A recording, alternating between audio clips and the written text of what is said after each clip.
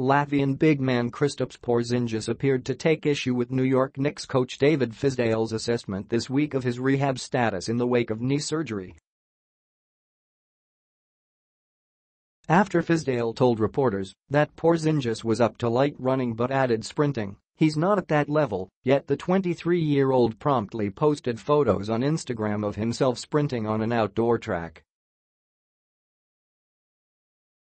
Fizdale told reporters at the Knicks practice facility on Friday that his comments the day before were based on what he'd seen of Porzingis' progress in the gym. I didn't realize he had went out to the track, Fizdale said, according to Newsday. But I was happy as hell to see that stride, I know that. I might two out with him next time and do some power walking because, man, that got me out of the bed when I saw that.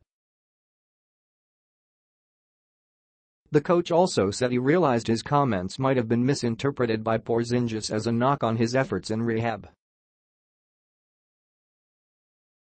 I think how he took it was that people thought he wasn't busting his hump, he took it personally, it got to him that people would think that, Fizdale said. And he's really, this guy has been a terror on his workouts. I think that's what it was in response to. Porzingis underwent surgery to repair a torn left knee ligament on February 13. Fizdale said Thursday he wasn't counting on having the 7-foot-3-inch center back this season. I'm not planning on it, the coach said, adding that he needed to keep his attention focused getting the most out of the players on the active roster. That would be a huge distraction for me mentally, hoping and wishing for KP, that 25, 28 points, 10 rebounds and 5 blocks, whatever, Fizdale said.